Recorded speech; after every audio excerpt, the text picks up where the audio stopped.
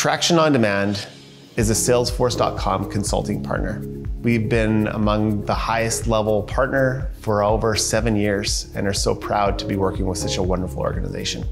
What's most unique about Traction on Demand's work with Salesforce is our focus on enabling customers so they don't need Traction on Demand anymore. We want our customers to be independent. We want them to be fully empowered and be as good at operating Salesforce's platform as we are. From our inception, we knew we wanted to build a business that was more than just money and jobs that would carry a bit more of a forward legacy and be responsible to its stakeholders, to the community for which it, operates.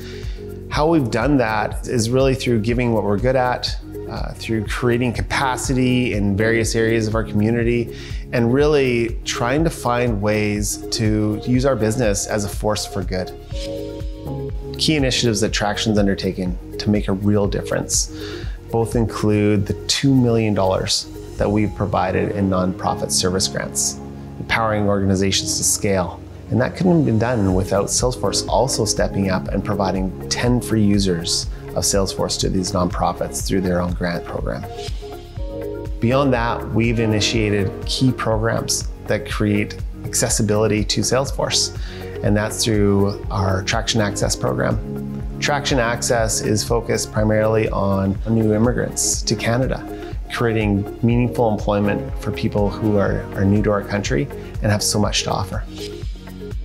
Traction on Demand has been a benefit corporation for seven years that's carefully considering its role when it comes to the planet, when it comes to communities, when it comes to being a responsible citizen of the world. Key areas that we're looking to improve and make greater impact as we look forward is creating more jobs in places where jobs are needed. The big thing for me is I want the business to be a part of helping each Tractionite represent themselves to the world so they can take some responsibility on how they improve it.